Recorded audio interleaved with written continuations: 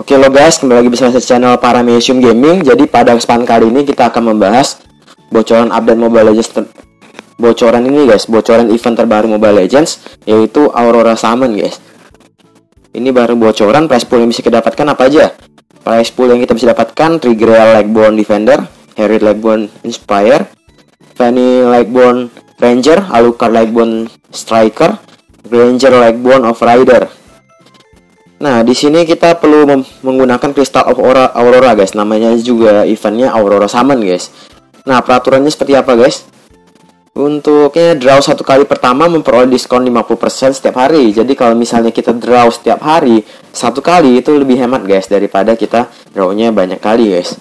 Yang kedua, ketika lucky point mencapai batas maksimum, sebuah skin permanen dijamin diperoleh pada draw berikutnya.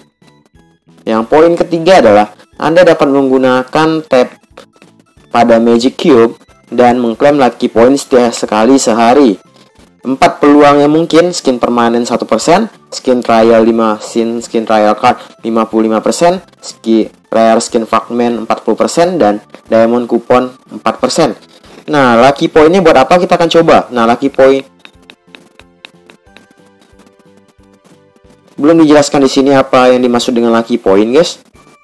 Tapi mari kita coba, guys. Oh, ternyata lucky point tidak bisa digunakan untuk membuka draw, guys.